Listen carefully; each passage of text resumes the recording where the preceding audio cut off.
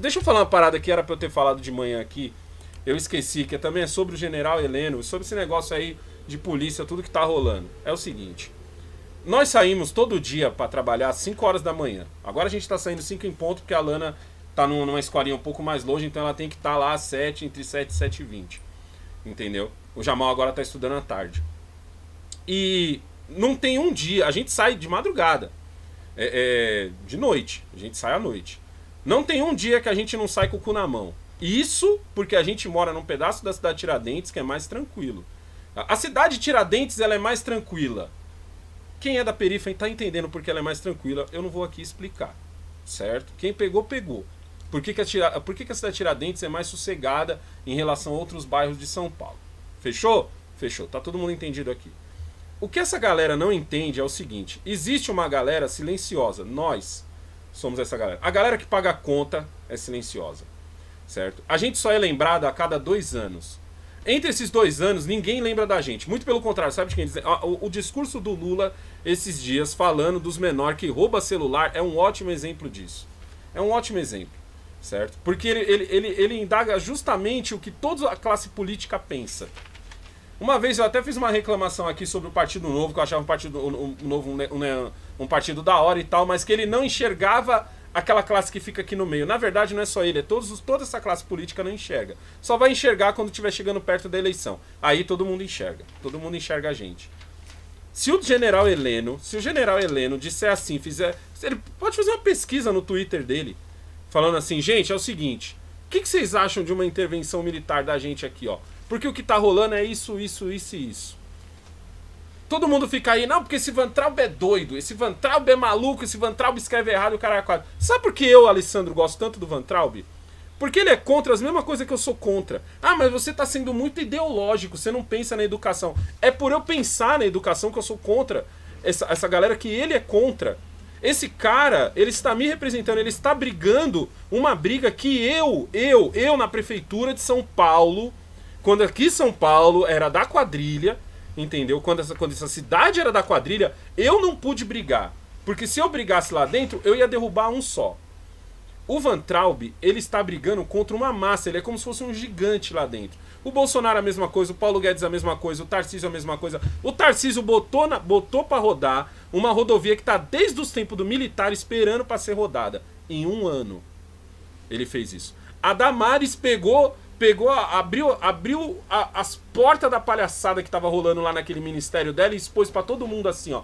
Tá vendo aí, negão? Você que não sabia o que era o Ministério da Família, dos Direitos Humanos e o Caralho 4, é isso que tá acontecendo lá, ó. Ela mostrou para todo mundo. O Sérgio Moro conseguiu em um ano, um ano, ele conseguiu em um ano, tá ligado? Fazer o que os outros não estavam fazendo, ó. E isso com todas as amarras. É bom deixar isso claro, porque essa galera trabalha com amarras. Essa galera trabalha com um amarra-gato preso aqui no, no pulso. Tá ligado? Um enforca-gato, que tem gente que vai me, cor me cortar agora, me corrigir. Então é isso que esse povo da, da política, esse povo do establishment, esse povo da, da, da, da, da, da, da televisão tem que entender que a galera que paga a conta, a galera que sustenta esse país nas costas, e somos nós. Porque o filhinho de papai que vai pra Paulista entregar panfletinho esse, esse daí não, não sustenta o país. Sabe quem. É panfletinho que eu tô falando é de partido, tá ligado? O. O, o, o mesmo playboyzinho que vai lá na sua rede social fazer testão contra a polícia, esse cara não sustenta o país. Quem sustenta é os pais dele, tá ligado? Quem sustenta sou eu, quem sustenta é a. É a mesma coisa que o Jamal começasse a, a, xingar tudo. Ah, porque isso, que aquilo. Quem sustenta é nós. E a gente tá cansado. A gente está cansado. A gente não quer ter que escolher o banco. Tem, quando eu preciso tirar uma quantia alta de dinheiro, eu vou num banco lá na aclimação. Porque eu não tenho coragem de tirar no Largo do Cambuci. Faz algum sentido isso para você? Você viver num país assim? Explica isso para um gringo. Explica para um gringo que, que, o, que o nosso parlamento está tentando fazer uma espécie de parlamentarismo entendeu? Da, da, um parlamentarismo, parlamentarismo branco, branco, que, que os caras chamam, chamam de parlamentarismo branco. Até os caras falando assim, ó, Aí até o, eles falam assim, ah, agora quer que o Bolsonaro vire tipo a rainha da. Isso, é, quer que o Bolsonaro vire a rainha da Inglaterra. então, no momento em que um cara que nem o general. A gente tá putaço aqui. A gente tá ouvindo calado. A gente tá ouvindo calado. Porque no momento em que um cara. Porque a gente, porque a gente ouve calado? Porque a gente é covarde? Não. A gente ouve calado porque a gente tem família, a gente tem, a gente tem o que preservar. E a gente conhece a máquina do Estado. Eu conheço. Eu sei o que é um cara do Estado olhar na minha cara e dizer assim: eu vou tomar o seu carro e apontar o dedo, que nem eu tô apontando para você agora. Eu sei o que é isso. Então, no momento em que eu vejo um cara que nem o general Heleno falar assim: ó, não podemos deixar esses caras chantagearem a, gente, foda-se eles. Esse foda-se não é dele, não é do general Heleno. Esse foda-se é meu. Esse foda-se é de todo mundo que tá passando por isso. É isso que esses caras não entendem. Eles acham realmente que quem comanda o país quem comanda o país é, é a mina do, do, do documentário.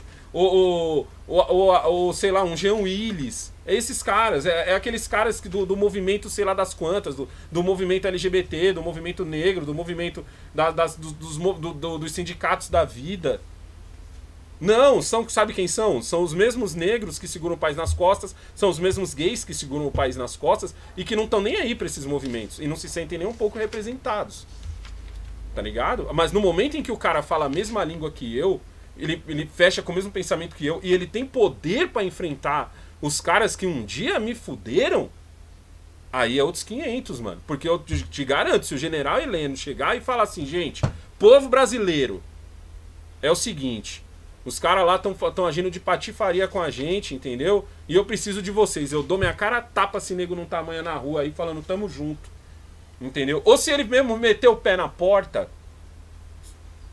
Tá ligado, né? Se ele chegar e meter o pé na porta, que é o desejo de muita gente há muito tempo. Se ele chegar e meter o pé na porta, se alguém vai levantar a mão e dizer eu sou contra. E se, se levantar a mão, na maioria das vezes vai ser aquela galera que já mamou pra caramba. E muito. Quando a gente fala pra caramba, é pra caramba. Pra caramba! Entendeu?